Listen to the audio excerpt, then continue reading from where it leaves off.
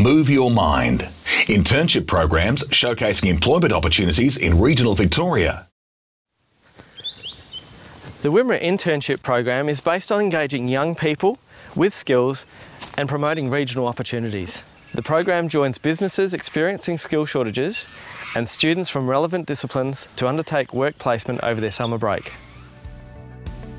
Living regionally has definitely uh, altered my viewpoint on regional versus metro living. I think working in a regional area you get to diversify, working on different projects, whereas in uh, the city you might only be working on one, one specific thing. Internship program's been very positive for us.